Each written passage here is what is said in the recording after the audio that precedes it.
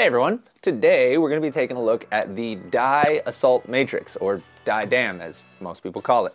But before I get into all the nitty gritty about the marker itself, I want to show you the cool case it comes in because, I mean, it's a cool case. As you guys can see, like that's a pretty neat case.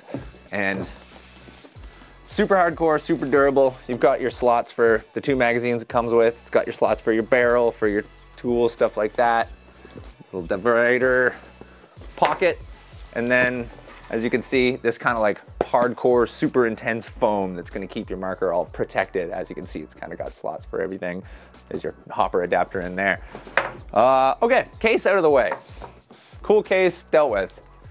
The marker itself is this bad boy right here. Now, this is essentially a, you know, this is a dye matrix. This is a DM, but like in like a woods ball sort of mag fed version. So it essentially can do everything that the DM can do plus a couple extra things. Namely, in that it is either hopper fed or magazine fed, which is pretty neat. So as you can see right there, there's a little hopper feed port cover, but you can attach the adapter on there. And let's just find the mag release. Now, this is actually a dummy mag. This does not actually function. This is got, uh, it's holding like O-rings and Allen keys and stuff, so don't lose this, don't throw it out, this is actually important. As for the magazines itself, grab one of these. So, comes with two of these. Uh, they call them 12 round mags. They're more of a six plus six. You got essentially six rounds in one side, six rounds in the other side, and you have to flip it halfway through. And they are compatible with either round ball or shape projectiles like First Strikes, which is pretty cool. Uh, they're actually really, they got this really cool design. They have this door thing right here so that while they're loaded, dirt, debris, water, etc., is etc., isn't getting into the magazine. So like it keeps your paintballs protected while it's in there. And then once you actually like insert it into the marker, that's what's going to open the door and then start feeding them. So that's pretty neat. Like I think that's a really cool feature.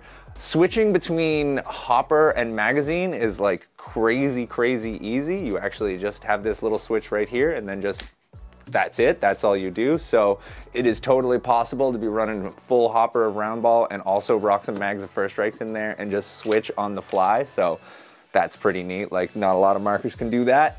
Um, does come with this stock. As you can see, the stock is removable. You don't have to run the stock if you want. It is extendable. As you can see, it's got a little compartment in there for, I don't know, batteries, something, I'm not sure. You do have your on-off ASA right there. So, you know, turn on and off the flow of air to your marker. It is electronic. It is a DM, of, of course. It's got, you know, your semi burst fire, full auto. It's totally programmable. So you can mess with your rate of fire, stuff like that. So like all that good stuff is in there.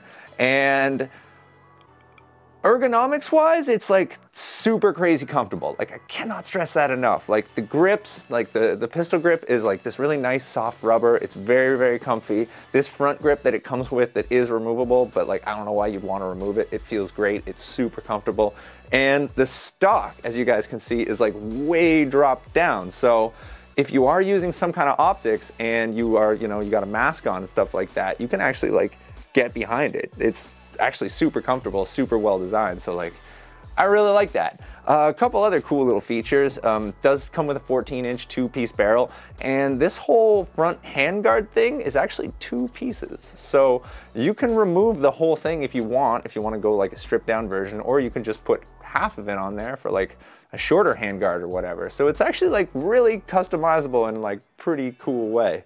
Um, but yeah, it's basically like, you know, the Dye Dam. You can do everything a DM can do. It can also shoot first strikes. It's also like super customizable, super, super comfortable, just like, just, you know, really, really, really nice marker. So if maybe you're looking for something that you want to be able to shoot lots of paint, but also shoot first strikes on the fly, if you want to, if you're looking for something like that, I would say Dye Dam. It's also got, you know, comfort on your side and a really nice case, as I mentioned before.